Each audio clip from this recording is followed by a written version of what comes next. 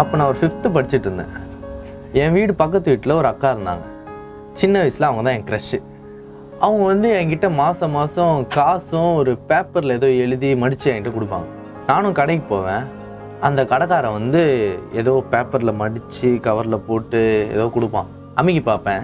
தூக்கி பார்ப்பேன். வெயிட்லெஸ்ஸாக இருக்கும். என்னன்னு தெரியாதனால தூக்கி போட்டு விளையாடிக்கிட்டே பவுலிங்லாம் போட்டு வருவேன். அப்படியே அந்த அக்கா மாடியிலேருந்து பார்ப்பாங்க. சிரிச்சுக்கிட்டே கிட்ட கூப்பிடுவாங்க. போவேன். அசிங்க அசிங்கமாக கேட்பாங்க. நானும் சிரிச்சுக்கிட்டே வாங்கிட்டு வந்துடுவேன் க்ரஷ்ஷு பார்த்துக்கோங்க ஒன்றும் சொல்ல முடியாது. அப்போ எனக்கு ஒரு பதினஞ்சு வயசு இருந்தது. அப்போ வந்து எப்படா என் மாமா பொண்ணு வீட்டுக்கு வருவான்னு அப்படி ஆவலாக காத்துட்ருப்பேன். அந்த பொண்ணும் வரும். அது முன்வாசல் வழியாக வரும்போது எங்கள் அம்மா அதே மாதிரி ஒரு காசும் ஒரு பேப்பரில் ஏதோ எழுதி பின்வாசல் வழியாக என்னை கடைக்கு அனுப்பிச்சிடும் அதே மாதிரி போவேன் வாங்குவேன். மறுபடியும் வரும்போது தூக்கி போட்டால் அதே மாதிரி திட்டு வாங்குவேன்னு சொல்லிட்டு சைலண்டாக எடுத்து போய் கொடுத்துருவேன். அப்போ வரைக்குமே கூட எனக்கு என்னன்னு தெரியாது. ஒரு இருபத்தஞ்சி வயசு ஆச்சு. ஒரு மெடிக்கல் ஷாப் போனேன். நான் தலைவலி மாத்திரை தான் வாங்க போனேன். ஒரு பொண்ணு வந்தா சானிட்டரி நாப்கின் கேட்டா அந்த கடைக்காரர் வந்து பேப்பரில் மடித்து கவரில் போட்டு அப்படியே மறைச்சி கொடுக்குறாரு. பார்த்துட்டே இருங்க ஒரு பையன் வந்தான் அண்ணா த்ரீ பீசஸ் காண்டம் அப்படின்னு அவன் கேட்டது எனக்கே பதறிச்சு அவன் ஜாலியாக அப்படியே வாங்கிட்டு வெளிப்படையாக வாங்கிட்டு போகிறான் ஒரு காண்டம் வாங்குறதுக்கு இவ்வளோ வெளிப்படையாக கேட்குற நம்ம ஒரு நாப்கின் வாங்குறதுக்கு ஏன் இவ்வளோ ஒளிவு மறைவாக கேட்கணும் பெண்கள்னா யாரு? அம்மா அக்கா தங்கச்சி காதலி மனைவி இந்த மாதிரி பல உருவத்தில் இருக்காங்க. அம்மா நமக்கு ரொம்ப பிடிக்கும். ஆனால் அவங்கக்கிட்ட ஒரு நாள் திட்டுவாங்களா கூட நமக்கு தூக்கமே வராது. எனக்கு வராதுப்பா. காதலி மனைவி அவங்கக்கிட்டலாம் நம்ம எவ்வளோ அன்பாக இருக்கும். ஆனால் பீரியட்ஸ் அப்படின்னு ஒரு நாள் வந்துடுச்சுன்னா அவங்கள அப்படியே ஒதுக்கிடுவோம் பீரியட்ஸ்னால் என்ன?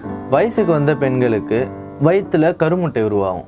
அப்படி உருவான கரு குழந்தையாக வளர்ச்சி அடையலைன்னா அது வந்து சிதைந்து வெளியே வரும் இது ஒரு ஒரு மாதமும் நடக்கும். இது வந்து சாதாரண விஷயம் இல்லைங்க. அப்படி நடக்கும்போது அவங்களுக்கு நிறைய ப்ளீடிங் அதாவது ரத்தப்போக்கு வரும். பயங்கரமான வலி அவஸ்தைப்படுவாங்க. அப்படி வழியால் அவஸ்தைப்படுறவங்க நம்மனா சும்மாவா விடுறோம்? விட மாட்டோமே யாரையும் தொடாத.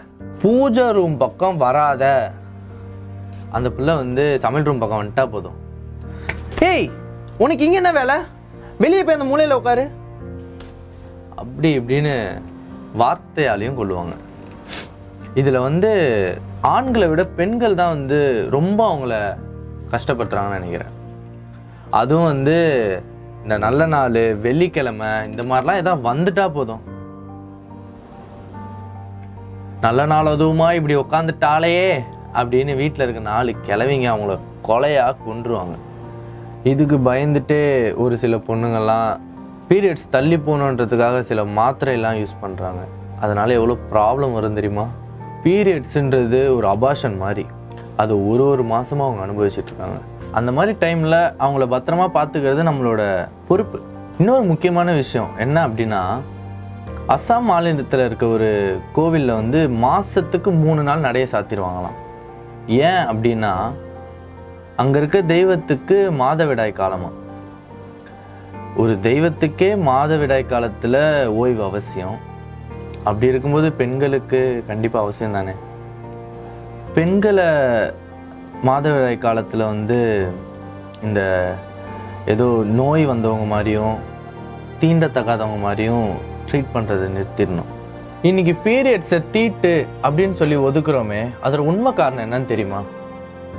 பீரியட்ஸ் டைமில் பெண்களோட கர்ப்பப்பையில் உட்புறம் இருக்கிற தோல் மாதிரியான ஒரு இடம் வந்து சிதைஞ்சு வெளியேறும். அப்போது வந்து கர்ப்பப்பை அந்த இடம் வந்து ரொம்ப மிருதுவாக இருக்கும்.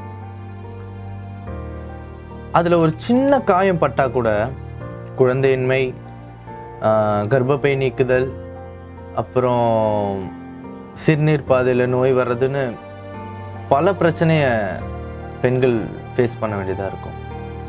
அவங்களுக்கு எந்த பாதிப்பும் வந்துடக்கூடாதுன்னு சொல்லி அவங்கள எந்த வேலையும் செய்யக்கூடாது அவங்கள தொடக்கூடாது அவங்க வந்து வலுவான து பொருள்லாம் தூக்கக்கூடாது ரொம்ப நடக்கக்கூடாது. அந்த மாதிரி அவங்கள பாதுகாக்கிறதுக்காக நம்ம முன்னோர்கள் பண்ண விஷயத்த ஆணாதிக்கம் பெண் அடக்குமுறை அப்படி இப்படின்னு மூட நம்பிக்கை அப்படின்னு மாத்திட்டாங்க. பீரியட்ஸ் அப்படின்றதுக்கு தமிழ்ல ஒரு அழகான வார்த்தை இருக்கு. மாதவிடாய். அந்த பேர்லேயே வந்து அர்த்தம் இருக்குது அப்படின்னு தான் நான் நினைக்கிறேன். நான் பைபிள் படித்ததில்ல பட் நான் கேள்விப்பட்ட ஒரு விஷயம் என்னென்னா பைபிளில் போட்டிருக்கோம் ஆஹ் உலகத்திலேயே ரொம்ப கடுமையான வழி வந்து பிரசவ வழி தான் அப்படின்னு. அதுக்கு இணையானது தான் இந்த மாதவிடாய் அப்படின்னு நான் நினைக்கிறேன்.